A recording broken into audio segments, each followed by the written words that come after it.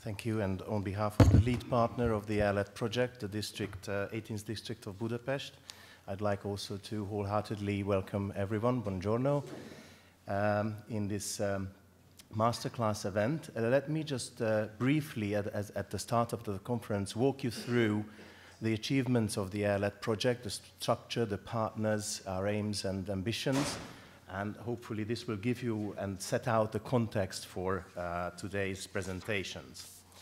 Um, AirLED is a program conceived by the municipality of the 18th district, uh, a lead partner in this uh, uh, cooperation, and it's funded by the Central Europe program. Uh, we have nine partners from EU countries uh, who have been working intensively during the past 19 months on this project uh, with the ambition to improve the polycentric development of airports and airport regions. Um, my presentation will briefly introduce you to this uh, program, but let's start uh, with the topic. Uh, airports as critical infrastructure, strategic infrastructures used to be sealed off from cities, high security areas, very much with a focus on the infrastructure. In the golden age of aviation and how civil aviation have, has developed, it also, beside this, uh, this mystical element, it also developed a, a grandeur, a glamour, which is still part of the culture of, of flying. And I think we also want to build on this culture. However, uh, similar to other urban ports, airports uh, became urban nodes, destinations also on their own uh, uh value and merit. Uh, this commercialization started with the terminal buildings, which became shopping centers, cultural centers, urban centers in the wider sense. But this development hasn't stopped, and the ambition of these partners working together on the AirLED project is to foster the development of new airport cities all around uh, Europe. But we are not only focusing the airport city, the developments, the commercial developments, business developments around the airport uh, in the immediate vicinity of the airport, but we are thinking about the impacts for the larger region. These metropolitan agglomerations can build on the node created by the airport and supported by other synergic developments, as we, it was uh, highlighted before. Um, these are the ambitions, I won't uh, read them, uh, of the project partners. We would like to enhance this uh, polycentric development. We want to work with the communities who uh, are located in, around, in and around the airports. We have created uh, special instruments and methods to involve these people, these businesses around the airport, the different uh, decision-making levels uh, that shape the future of urbanization in these regions. A brief uh, uh, list of the partners. You can see that uh, four countries are involved, and there are also a variety of institutions and outside and, and technical consultants involved in this project. Uh, we have uh, as a lead partner, as I mentioned, uh, uh the district, 18th district of Budapest, uh, in a close uh, part working partnership with a neighboring town, Vecsés. Um, we have business support center from Kranj, from Slovenia. We have Mazovia Voivodeship. we have two knowledge institutions involved, one from Hungary, the Institute for Transport Sciences, and the Institute of Urban Development. And of course, last but not least, I should also mention the Institute for Transport and Logistics Foundation, a critical partner in this project. Uh, we have the municipality of Cerklje in Gorenjska region, also from Slovenia, and our hosting region, Emilia-Romagna, also last but not least mentioned in this project. Um, here you can see us gathering uh, many times during this, uh, these workshops and some hard facts about uh, the project. Uh, we are funded by the Central Europe uh, Program Priority Enhancing Competitiveness and Attractiveness of Cities and Regions. And within this, the area of intervention for this project is developing polycentric settlement structures and territorial cooperation. There are some nice numbers also presented, and I think we are really up to the mark uh, with our progress considering uh, all these efforts. This is a complex issue that we are aiming at. Uh, therefore, uh, the execution of this program is also highly complex.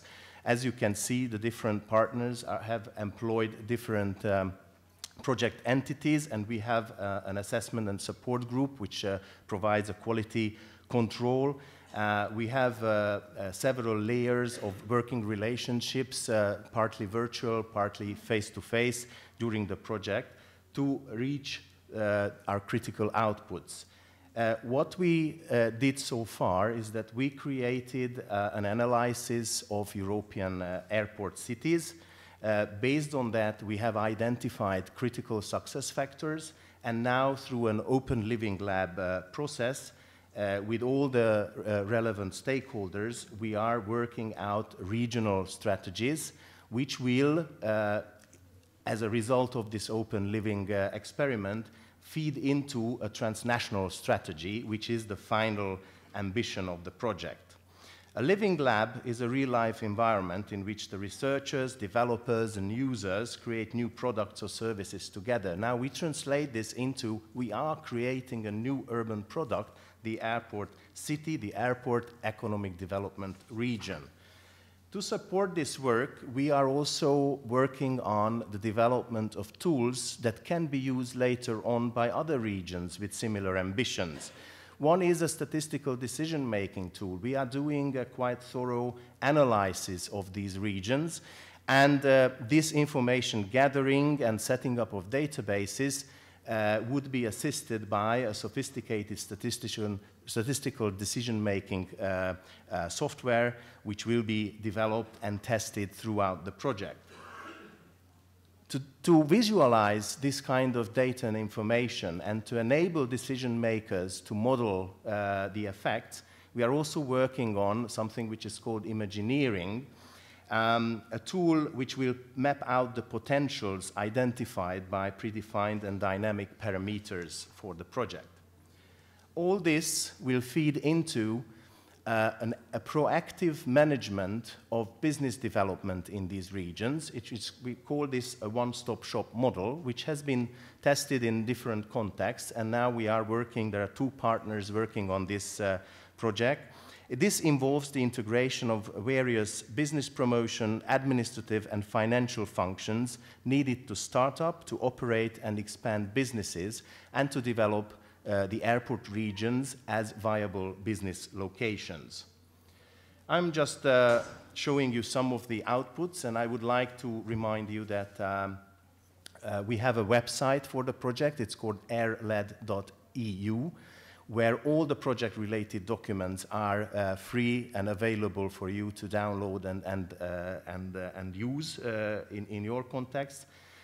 we have um, Based on this European state-of-the-art report that I mentioned earlier, which outlined the key criteria for airport city development, a, a, set of regional status quo analyses have been delivered, and by developing a collection of good practices by our assessment and support group, which is an ongoing process uh, currently, uh, all the four regions have started to work on their regional polycentric development plans, which is very um, very well um, timed uh, since all of these countries are looking forward and very actively planning for the forthcoming uh, uh, um, 2014-2020 planning period for the, for the EU, and there are a number of national and regional level strategies which are being elaborated. So we are aligning our efforts with all these um, uh, strategic planning uh, uh, during the coming months, uh, these uh, plans will be intensively discussed with the regional stakeholders and hopefully, as a result, will be implemented by the project partners. Um, Basically, all the activities and all the key outputs uh, uh, feed into this polycentric development plan, which serves as an integration platform among the key stakeholders of the airport regions uh, participating in this uh, project. And uh, we have identified uh, a number of initial airport city development criteria, namely connectivity, economic potentials of the catchment area, sustainable development as a leading principle and context, and commercial attitudes of the airport operator. And within this, there are a variety of issues that are being discussed. For example, when we talk about connectivity, we are thinking about surface connectivity with the central business districts and the larger metropolitan agglomeration concentrations, but also the connectivity of the relevant airport within the international network of uh, airports, so the destinations that are served, the frequencies of the flights. Uh, we are looking at the intermodal uh, freight connectivity uh, uh, available or to be developed. Um, when we talk about the economic potentials, we are looking at the, the, the, local and regional economic base, we are looking at the social and economic profile, the businesses who have settled, and also we are making comparisons with good practices, what was successful. And I think hopefully today also in the conference we will hear some excellent case studies and um, um, experiences we can uh, relate to. Um, in this, uh, in this uh, uh chart, I'm just um, showing in a different context how our outputs are uh, being structured. And as you can see, the strategy for airport city development as the final transnational guideline and guidance uh, will embrace all the experiences we gain through all this testing and working intensively together on our regional plans. Um, Finally, I'd like to close my short uh, presentation by some preliminary results uh, already visible in the planning documents of uh, the Central Hungary region and Budapest. Um, obviously, to develop local, national, or transnational strategies uh, may bring additional benefits. However, the real impact can only be made if all the efforts are not wasted but implemented on the long term. So we are really focusing on the endorsement of all these activities that we start. Um, this endorsement already started by building a new identity for the airport region and by implementing the plan into various national, regional, and local policies, as already mentioned, and uh, development strategies, and finally, regulatory plans which guide uh, the urbanization. Uh, as an example, I'm showing you Budapest Airport Master Plan and uh, the long-term 2030 strategy of Budapest, which clearly shows that for the Budapest policymakers, the airport became an important subcenter, an important growth pole, which needs to be uh, designed and uh, thought about in the context of the wider metropolitan region. Uh, yesterday in the technical meeting, it was already mentioned that the recently adopted Pest County Master Plan already indicates that uh, um, a special economic zone will be created around the airport uh, with the aim to enhance the development of this uh, uh future growth pole. And uh, it's also interesting that it, it, also represents a shift in thinking uh, about territorial development because in the past, I should say 20 years from the transition of these economies, mostly territorial uh, focus was given, territorial development focus was given on the regions which lag behind. And here, the issue is that a growth pole has been identified, uh, complementing other areas where uh, social economic development will bring uh, more the integration uh, with, the, with the rest of the country or the rest of the region.